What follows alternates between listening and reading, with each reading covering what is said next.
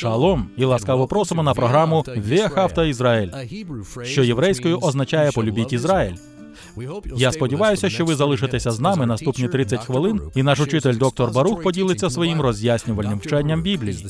Доктор Барух, старший лектор в інституті Зара Авраам, розташованому в Ізраїлі. Всі курси в інституті викладаються на івриті, і доктор Барух із задоволенням поділиться своїм щотижневим вченням англійською. Щоб більше довідатися про нашу роботу в Ізраїлі, будь ласка, відвідайте наш сайт loveisrael.org. А зараз доктор Барух із сьогоднішнім уроком. У цьому році ми вивчатимемо дуже важливу подію. І коли ви правильно зрозумієте значимість цієї події, вона сміливо та ясно промовить до вас про ідентичність нашого Господа та Спасителя, Месії Єшуа, Ісуса з Назарета. І життєво необхідна вимога знайти його. Коли я кажу знайти його, це містить у собі правильне розуміння його ідентичності, що він єдиний Божий син, що він божественний. На жаль, багато хто каже, що вони вірять в Ісуса. Вони вважають його Спасителем, кажуть, що люблять його, але проблема в тому, що вони відкидають біблійну істину про його ідентичність. Це місце письма ясно каже про те, хто він. Що ж, візьміть свою Біблію і подивіться разом зі мною Євангелію від Матвія, 17 розділ. Євангелія від Матвія, 17 розділ. Ця частина письма починається дуже цікавим чином. Ми читаємо в першому вірші. А через шість день подумайте про це твердження. А через шість день про що воно нам каже? Що ж це каже нам? Що подія сталася не перед шістьма днями, не під час шести днів. Вона мала статися після. А через скільки після? Ми не знаємо. В іншій Євангелії нам сказано, що восьмого дня. Зрозуміло, що восьмий день після шести. То чому це не зрозуміле? Через шість день. Відповідь така. Це одна з методологій, яку використовують автори письма. Для того, щоб дати нам належний контекст для розуміння цієї події. Бо біблійно число 6, не 5, а 6, каже про Божу благодать. І автор каже нам ось що. Тільки в результаті Божої благодаті ви можете прийти до належного розуміння ідентичності Месії. Весь вірш перший.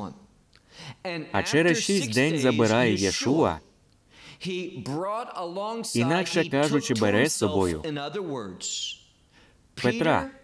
На івриті наступне слово Якова, так само і грецькою.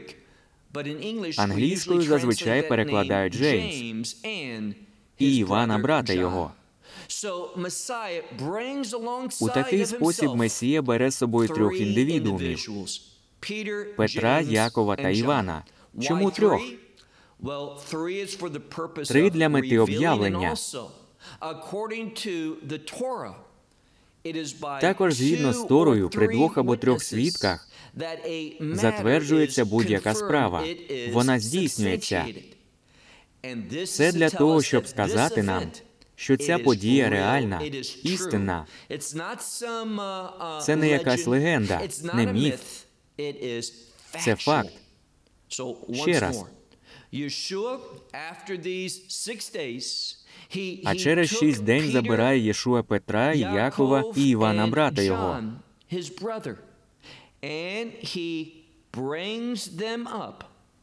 Та й веде їх осібно на гору високу. І ось що мене турбує. Часто, коли ми вивчаємо такі місця, як це, ми одержуємо інформацію високу гору. І перше, що люди хочуть знати, це ось що. Що це за гора? Нам не сказано. Але люди з якоїсь причини люблять домислювати. Вони роблять найрізноманітніші висновки. І вони кажуть, якщо це правда, то ймовірна гора така. І кажуть про місце, чого не можуть довести. Бо письмо нічого не каже нам, крім того, що це висока, буквально піднесена гора. А цим мається на увазі влада. Інакше кажучи, благодатне об'явлення про Месію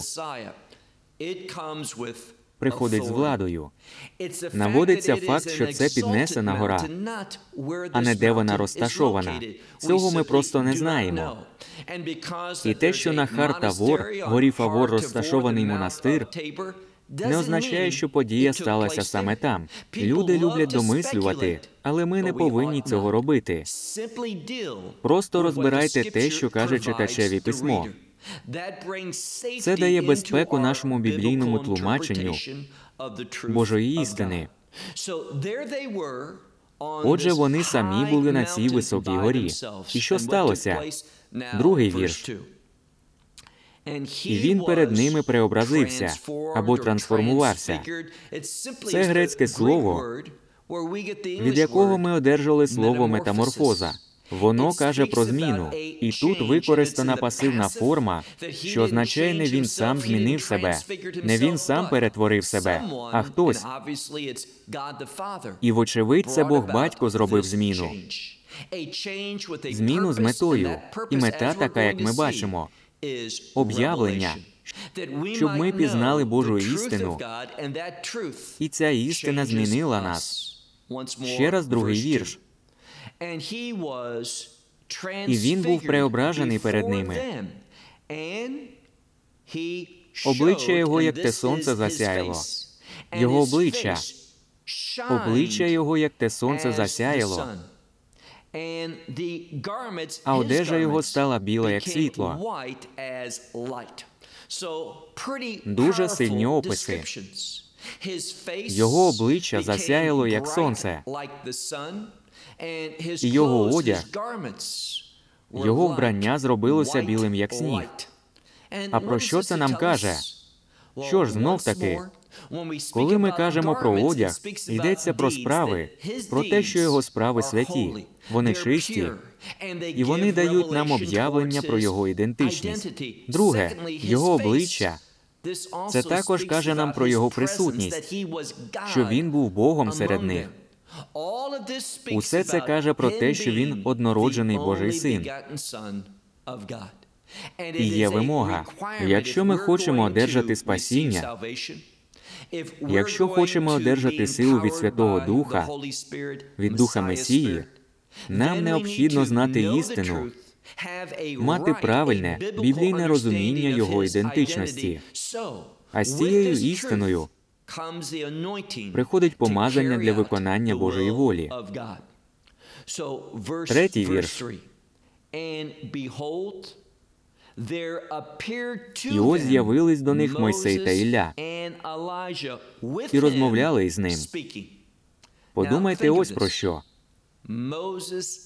Мойсей та Ілля раптом з'явилися у тому самому місці, на тій піднесеній горі, і вони розмовляли з ним. Ось чому привнесення контексту єврейського контексту в письмо таке важливе. Бо часто, коли ви питаєте в когось, про що каже той факт, що згадані Ілля та Мойсей, люди знов таки домислюють, вони дають усілякі відповіді на це запитання.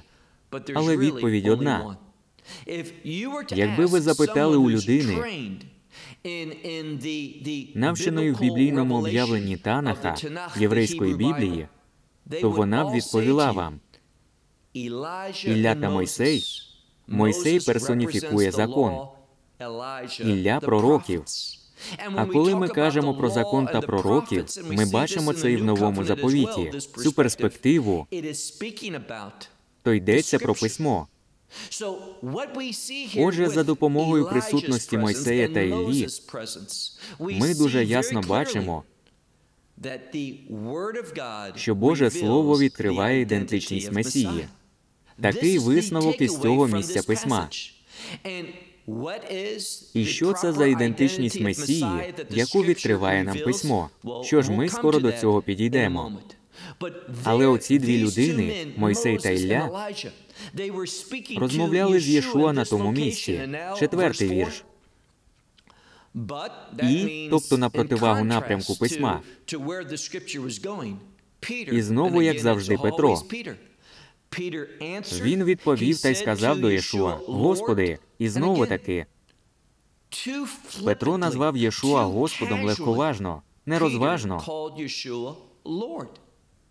І ось чому я так кажу. Спочатку він використовує цей термін Господь, а потім ніби інструктує, або не погоджується, або вступає в конфлікт із самим Месією.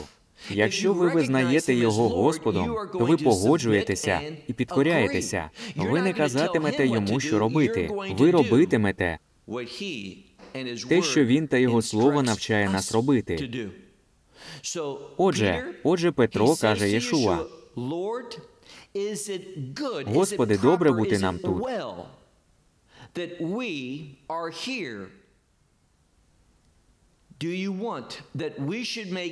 Коли хочеш, поставлю отут три шатри.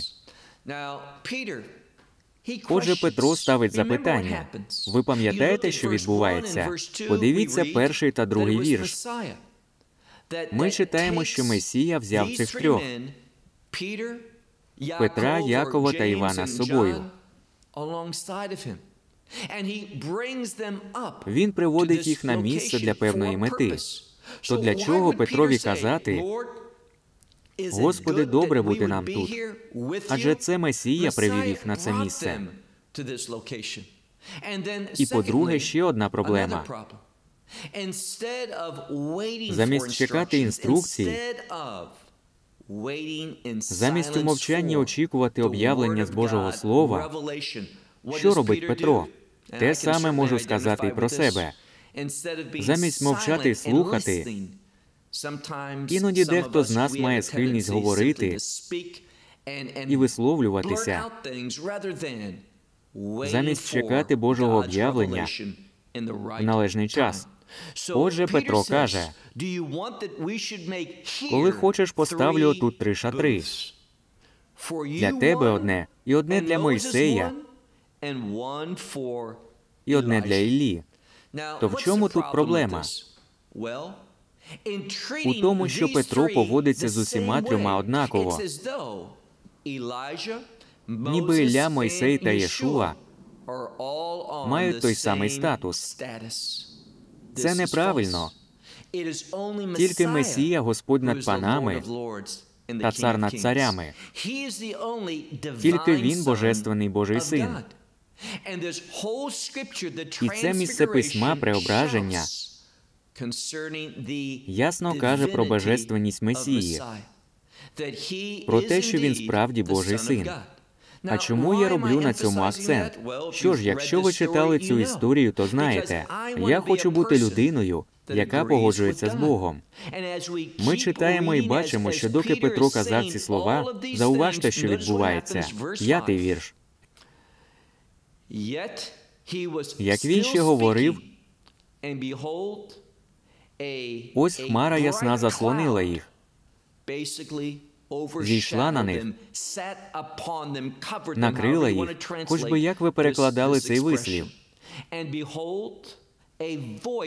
І ось голос із хмари почув, що казав, це на цьому робиться акцент. Вони чули з хмари голос. А чи, як ви гадаєте, це голос? Очевидно і безумовно, іншого тлумачення на підставі того, що ми скоро прочитаємо, і бути не може. Це голос живого Бога, Бога Ізраїлевого. І що він каже? Знов таки, це емфатична конструкція. Він підкреслює це, кажучи, це син мій улюблений, що його я вподобав. Його слухайтеся, чуйте, і знов таки.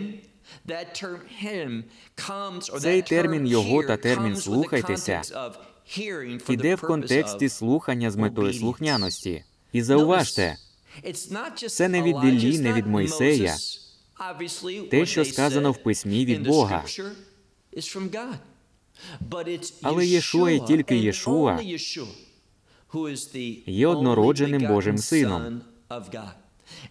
І цей вислів його такий порядок слів в оригіналі. Його слухайтеся. Дуже схожий на те, що ми читаємо в Торі про Божу обітницю. Месіанську обітницю поставити схожого на Мойсея з братів ваших. Цей і всі згодні з цим. Цей як Мойсей. Що означає як Мойсей? Відкупитель. Мойсей був відкупителем у фізичному сенсі. Бог використовував його як інструмент відкуплення для того, щоб вивести народ з Єгипту. Він був лідером. Схожим, але більшим образом. Бог використовує Єшуа для того, щоб вивести нас із цього світу гріха і ввести до свого царства. Ось чому необхідно і слід його слухати. Отже, Бог не має сумніву, що це він. Каже, його слухайтеся. Шостий вірш. А почувши, попадали учні до лілиць і полякалися сильно. Тут використана пасивна форма, що означає те, що вони побачили, почули, досвіди з цим голосом, який прийшов з небес, із хмари. І очевидна хмара нагадує нам про вивід Ізраїлевих синів з пустелі та про мандри в пустелі 40 років. Хмара персоніфікує Божу присутність. І Бог є тільки Бог сказав ці слова. Ось чому читаємо ще раз. А почувши, попадали учні до лілиць і полякалися сильно. Сьомий вірш. А Єшуа підійшов. Мається на увазі, що він підійшов і доторкнувся до них і промовив: Уставайте і не бійтесь. І мова використана тут. Коли він сказав Уставайте, не означає, що вони могли встати самі. Грецька мова, яка є дуже точною, має на увазі, що йому треба було допомогти йому стати. Йому треба було підвести їх, бо знов таки тут пасивна форма. Вони були такі вражені та налякані голосом Бога, присутністю Бога та силою цієї події, що Месії треба було допомогти йому стати. Ось що відкриває нам Боже Слово. Восьмий вірш.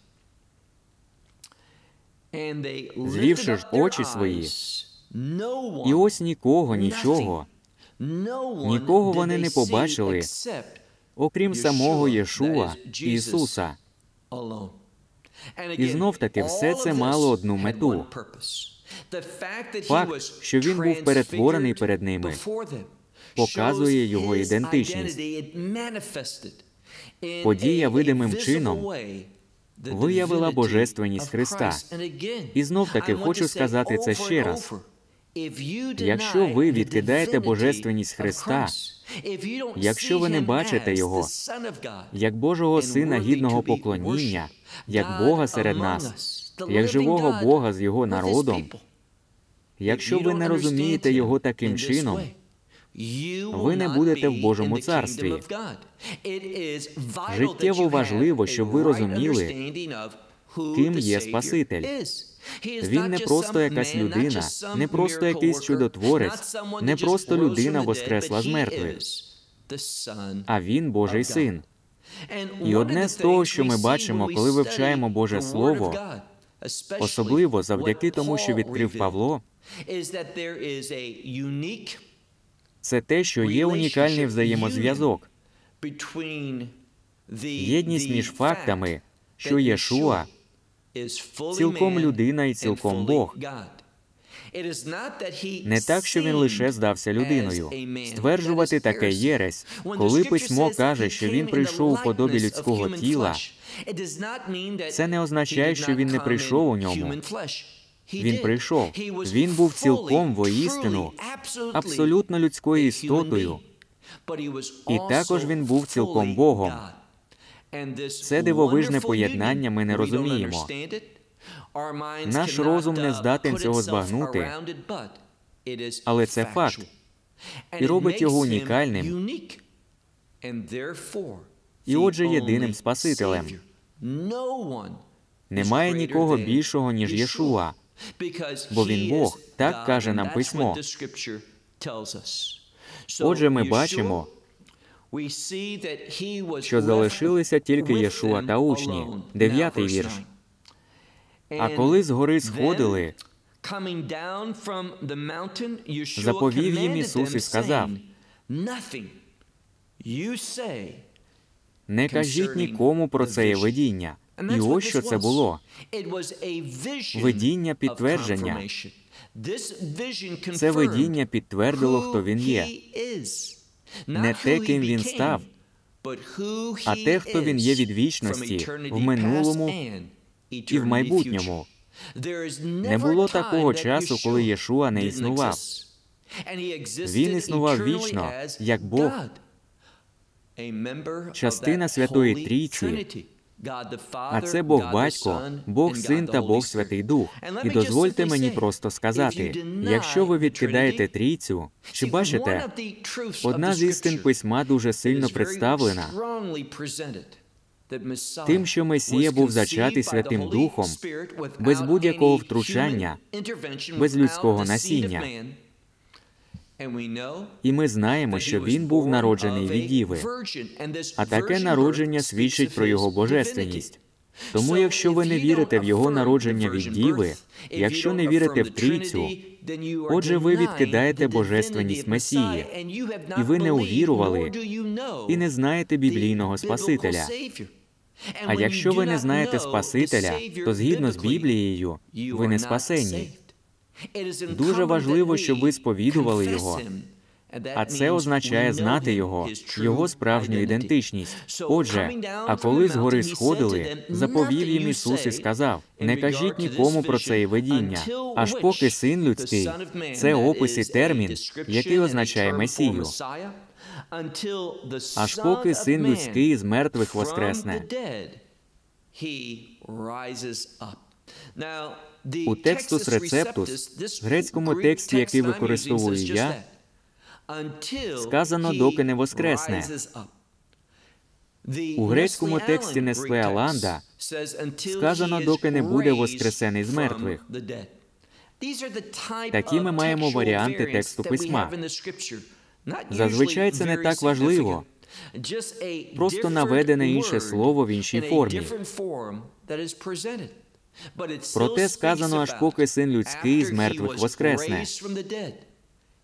Важливо відкрити його ідентичність. Божий син, Божественний Божий син, єдиний божественний, разом з Богом Батьком та Святим Духом. Десятий вірш. І запитали його учні, говорячи, Що це книжники кажуть? Ніби треба Іллі перш прийти.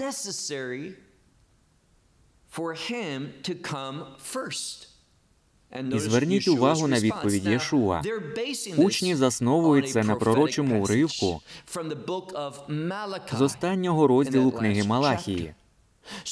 І вони кажуть, що це книжники, а книжники були експертами в письмі. Вони не ті, хто просто копіював письмо. Це спрощення розуміння про книжників. У цьому разі учні кажуть про тих, хто давав закони, належний спосіб копіювання письма.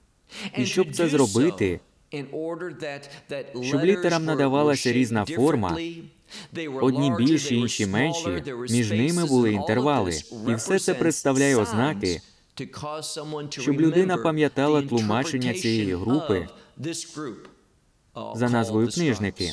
Отже, учні кажуть, що це книжники кажуть, ніби треба Іллі перш прийти. Одинадцятий вірш. А Єшуа відповів і сказав, Ілля, правда, прийде і все приготує. Ми бачимо це в книзі Малахії. Але кажу вам, що Ілля вже прийшов. Але Ілля має дві мети. Його перша мета бути предтечею, приготувати шлях. Потім, перед другим приходом Месії, Ми кажемо не про піднесення церкви, а про другий прихід. Ілля прийде і влаштує все, як сказав Єшуа. В уривку з книги Малахії сказано, І приверне він серце батьків до синів, і серце синівське до їхніх батьків. Буде єдність у тому, що стосується того, про кого ми кажемо Месії. Отже, він каже, але кажу вам, 12-й вірш, що Ілля вже прийшов був, та його не пізнали. але з ним зробили, що тільки хотіли. І ми читаємо. Так, подивіться другу частину 12-го вірша. Так і син людський має страждати від них. Він каже про те, як Ілля, але в цьому разі він каже про Івана Хрестителя, який прийшов, як каже письмо, в дусі Іллі. Він закликав людей до покаяння. Він казав істину. Він стояв за істину Божих заповідей. І що з ним сталося? Його віддали на смерть. І Месія каже: так само і зі мною, бо я прийшов з тим самим посланням. Я той, на кого вказував Ілля. Вони зроблять. Зауважте, що сказано наприкінці 12-го вірша.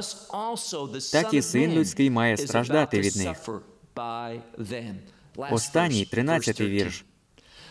Коли Єшуа встановив цей взаємозв'язок між стражданням та тим, хто прийшов у дусі Іллі,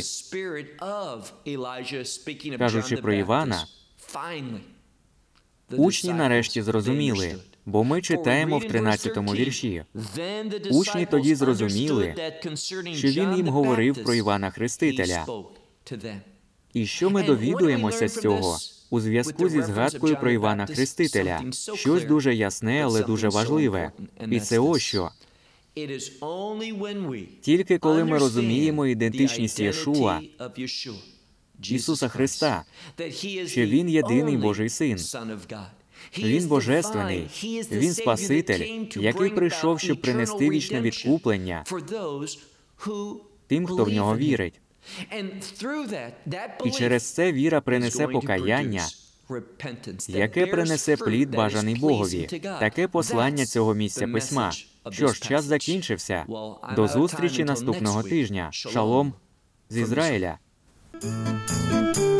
Ми сподіваємося, що ви оціните сьогоднішнє послання і розділите його з іншими. Будь ласка, приєднуйтеся до нас щотижня о цій порі та на цьому каналі, або до нашої трансляції на loveisrael.org. Щоб більше довідатися про нас, будь ласка, відвідайте наш вебсайт loveisrael.org. Там ви знайдете статті та численні інші лекції вчителя Баруха. Це вчення є й у відеоформаті. Ви можете завантажити його або дивитися онлайн до наступного тижня. Нехай Господь поблагословить вас через нашого Месію Єшуа Ісуса у вашому ходінні з ним. Шалом з Ізраїлю!